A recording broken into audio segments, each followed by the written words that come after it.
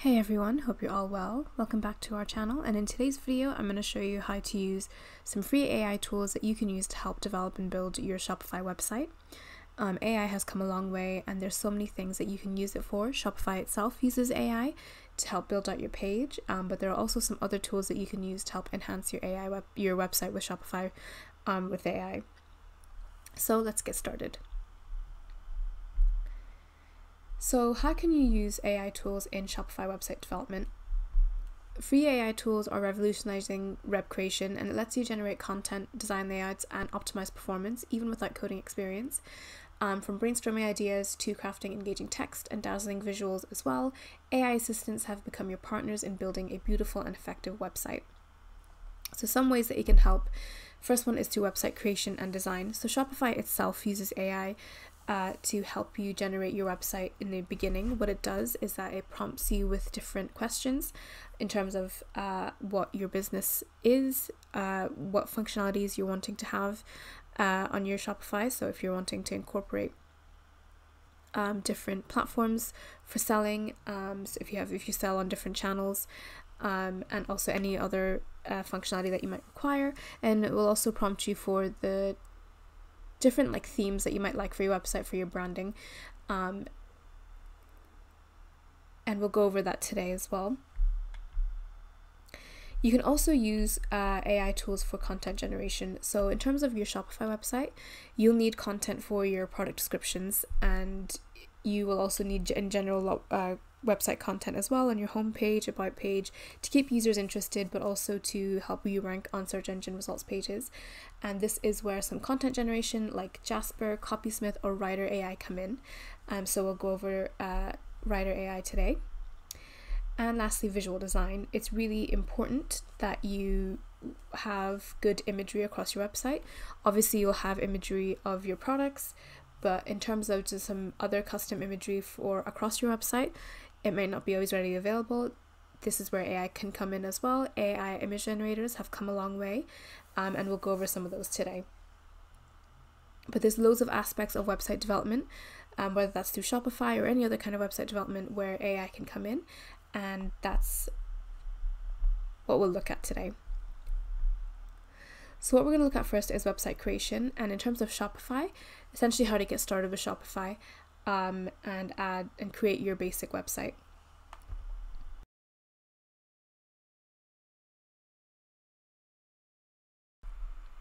So you want to create a Shopify ID, and you can do this with your email. Um, you can do it with Facebook, Google, anything like that.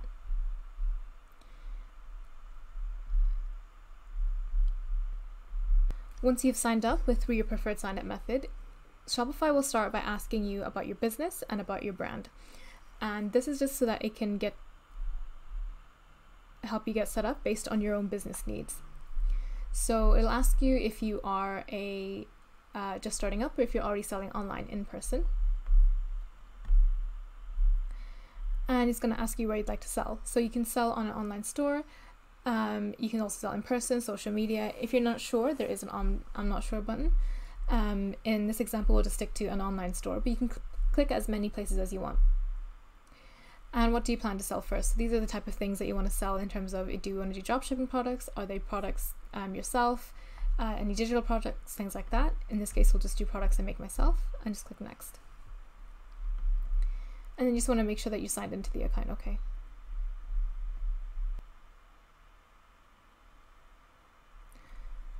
So once you have your account set up, it'll show you the Shopify dashboard and it's from here you can see a checklist of what you need to do. And on the left is where you'll manage everything. So everything is separated. Your orders have their own tab, your products have their own tab, your customer list have their own tab, analytics content, they all have their own tab. So it makes it really easy to kind of manage everything as well. There's different ways to go from here. You can either start by adding your products um, or you can customize your online store. We'll start by adding the products. We can go through the setup guide. To start adding products, you can either click on the add product here in the setup guide or you can go directly into the products tab and you can see basically all the products that you'll have to sell. Right now there's not any uh, and currently, but once you add products, it'll show up in this products dashboard. So we're going to click on add your products. And you want to basically just type in all the product details and everything's really uh, front end friendly. It's very straightforward. It's labeled exactly where you need to write things. So your title is here description here media files all in here. So you just want to go through each of these fields and just type in all of the uh, product information basically.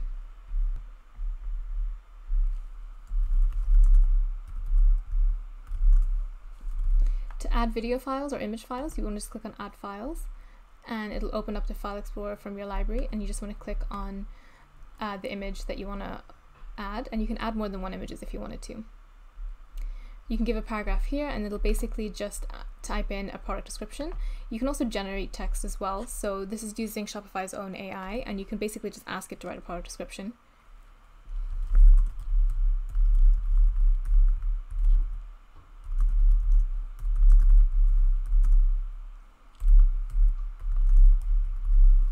And you basically just type in the features and the keywords, the tone of voice, um, and any special instructions as well. So, for example, place some words with emojis. And you can basically just get Shopify to essentially write all of your uh, product descriptions, and then you can decide if you want to keep it and you can edit it as well. Then you want to give the pricing. And this is just the normal pricing of the product. And then you want to just, if you want to make it a sale item, you can do a compare at price. So um, this basically will show up the sale item. It'll show up with the old price scored with the new price um, beside it as well. Next, you want to give the uh, quantity. And this is if you want to track your quantity, so you make sure you're not selling more than what um, you actually have. So you type in 50 here, you can decide if you want to continue selling one out of stock or if not. Then you want to go into variants, and this is where you can add uh, different variations of your product. So if your product comes in different sizes or for different colors, then you can add that as a variant, and that way people can select the size or color that they want. And it just means then you can set different um, pricing for those sizes, and it means you can select different uh, inventory options for those sizes as well. So in this product, for example, we'll have different sizes. So I'm going to click on Add Variant. I'm going to click on Size, and I'm going to do um, and you just each add each of the values um, one by one and just click done. And then down here you can basically add different pricing for each of them. And you can add different availability. So maybe there's 12 of this size only 5 of this size and maybe 20 of this size. Lastly you want to make sure that everything is uh, SEO optimized. So you want to make sure it has a page title it has a description and has a good URL handle as well And then you want to look at the product organization. So the product organization part of Shopify basically allows you to uh, add filter and customization options, and just means then uh, when you are building your pages, you can have a page dedicated to a particular category. So you can have a category for uh, men's shoes or shoes.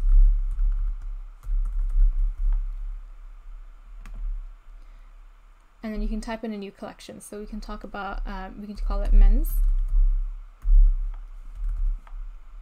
and click on create collection.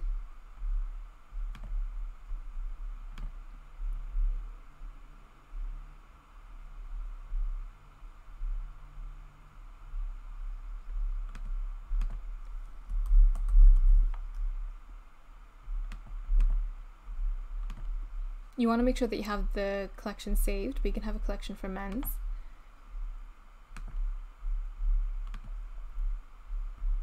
And you can decide if you want to add the products manually or automatically whenever people are creating it.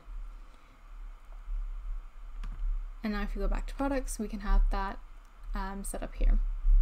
And then once you're done, you just want to click on save. And then you, when you go back to the products page, you can see the products all lined up here. If you go back to home, it'll give you next steps on what you should do. So we have our first product.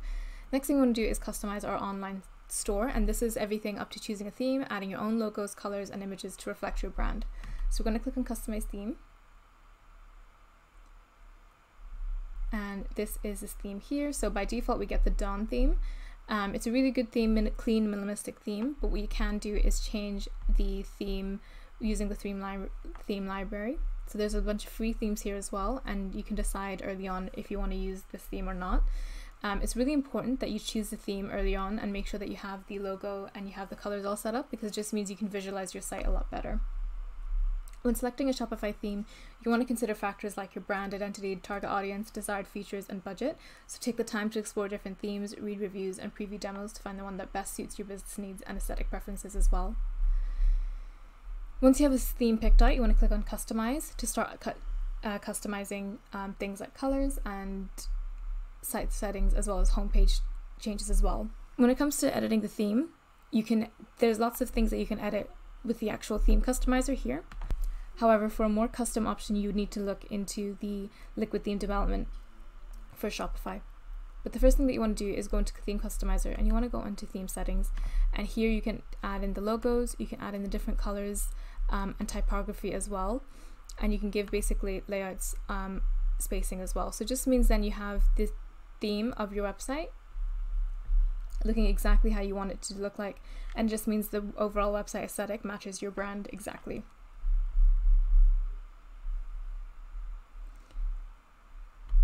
When as you make changes, um, you just want to make sure that you click save on everything. Um, it's important to note that you won't be able to um, you won't be able to uh, customize everything. If you wanted more custom, then uh, you would need to look into uh, editing their theme files using Liquid.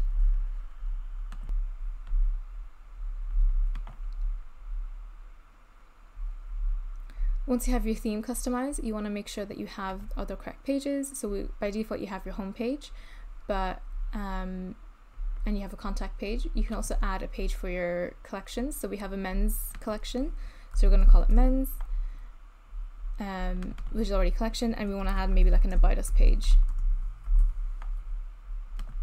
And you want to make sure that there's an about us page template here, and then you can add the content here, and then just click on save.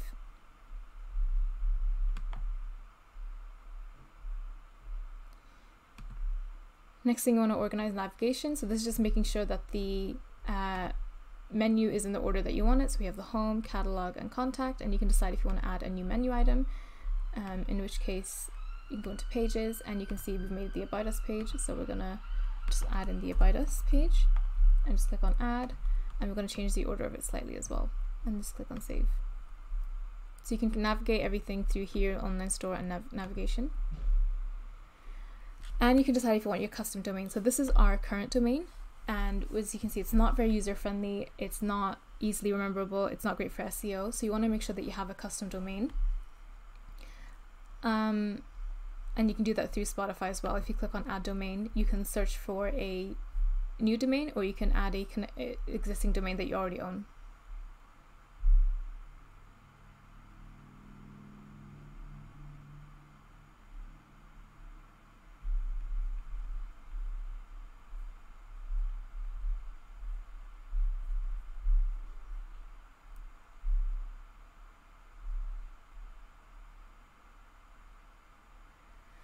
So you have your uh, account set up, you have the theme that you want, it's customized, you know how to set up products. The last thing that you want to do is pick a plan um, for your website, as you know. So you have a free trial of three days, and then you can test out one of the plans for as little as three pounds a month um, for three months. And then after that, you would need to either choose a pay plan and pay it in full, or you can decide if you whether or not for Shopify is something worth paying for or not.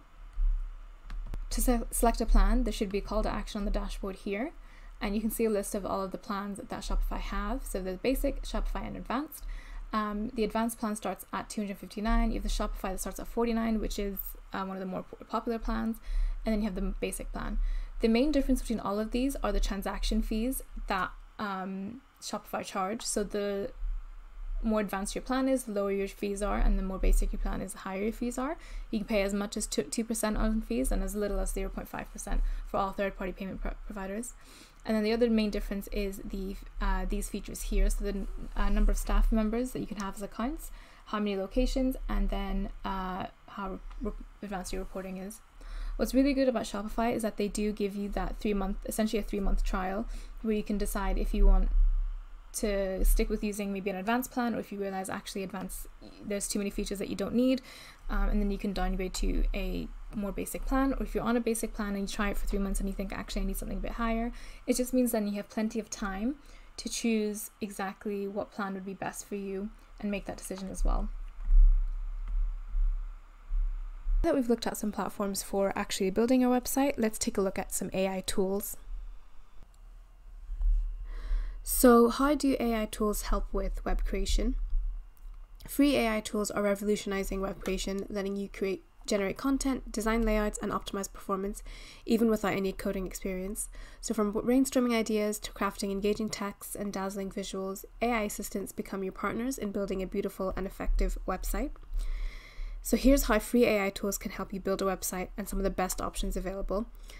The first part it can help you with is website creation and design. So platforms like Jimdo and like the Wix ADI can really help you with the actual uh, building part of your website. So essentially, these AI platforms will ask you a little bit about the web type, type of website and the type of business that you have and the type of website you're trying to create, um, the type of functionalities that you want, and the themes and color palettes that you like the most, and they'll essentially create a website for you.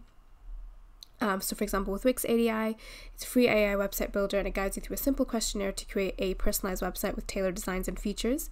And Jimdo is another friendly one um, and it offers sleek templates, mobile optimized design, and basic e commerce functionality. And it uses AI to basically build your website for you. And all you need to do afterwards is customize it and change it uh, to fine tune everything that you need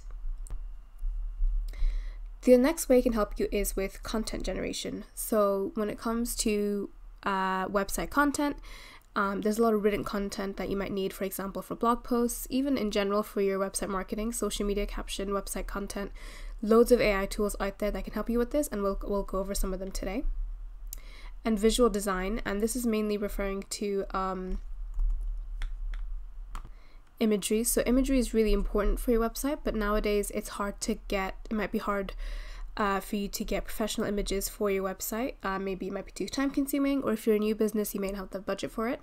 Nowadays, there are so many AI image generators that you can use um, that can help you generate high quality images that are relatable to your website but are copyright free and free for you to use as well. So we'll go over some AI image generators as well. So the first part we're going to go over is website creation and design. And let's have a look at Jimdo. So Jimdo is another user-friendly AI website builder. It has a free plan, it offers sleek templates and mobile optimized designs, basic e-commerce functionality and things like that. So let's get started. The next platform, um, AI platform that you can use for website creation is the Wix ADI. And this is a free AI website builder and it guides you through a simple questionnaire to create a personalized website with tailored designs and features as well. It's great for beginners who want a quick and easy solution. So let's get started with Wix ADI as well. So now let's take a look at content creation. Um, as mentioned before, there's loads of content that you'll need to generate for your website in order in order for it to engage users and also help it mark uh, rank on social media or search engine results pages. The first one that we're going to look at is Writer. So Writer is a really cool AI tool. Um, what it does is it can help you with your website content creation, um, especially it does have a free plan as well. It, you can generate really diverse content, including uh, website copy. Um, so things like even ha- catchy headlines, meta descriptions, product descriptions, landing page copy, even FAQs with various tones and formats. Um, you can get a jumpstart on your blog post outlines, introductions, conclusions, even bullet point for key takeaways as well, so it helps with your blog posts. It can also help with social media posts as well, so you can craft really engaging captions for Facebook, Instagram, Twitter, and more um, to kind of ensure that consistent brand voice across platforms. Um, and that's actually, while that's not really that important for your website content in general, um, it's good for website marketing because once your website is launched, you want to be able to get it uh, attract users and one of the best ways to do that is with uh, social media posts as well. So it's a really cool uh, tool and it's really widely used as well. So this is their pricing and while the free plan is a great starting point um, the paid plans offer more features like longer content um, generation different uh, languages and plagiarism checks as well. Um, but in general with the free plan um, you have 10 characters uh, generated per month. You have access to over 40 uses cases. Uh, you can write in 30 different languages. um, and you can generate up to five images as well, so we can help you with that. Um, consider upgrading if you need more functionality, but the free plan is actually not too bad. Um, it allows you to generate about 5,000 characters of content. It's that's roughly equivalent to about two or three short blog posts. Um, in terms of limitations compared to their paid plan, the 5,000 characters per month might not be enough for extensive website content needs, and you won't have access to all the content formats and tones available. Um, but it's a great way to check out Writer, try it, see if it fits your needs, um, and you can generate basic content for your website like headings or short product descriptions, and you can get uh, inspiration and overcome your writer's block as well if that's something that you are uh, struggle with as well. Um, so yeah, Writer is a good one to stick with and to give a go as well. Next up, we have visual design, and this is referring uh, mainly to images. So it's really important to have engaging images on your website. Um, when it comes to Shopify websites, you'll mainly have images of your products. Um, any other type of websites, you'll have web um, images um, to help attract you, um, keep your uh, customers engaged, and rely uh, tone of your website as well. But sometimes images aren't always um, custom images aren't always easy to come by, so that's where AI image generators come in. So using AI tools for web creations offers a plethora of benefits, catering to both beginners and seasoned users as well. Some key advantages is um, that you can break through creative blocks um, AI can offer unexpected ideas and suggestions, sparking, sparking new angles and approaches to your website content and design.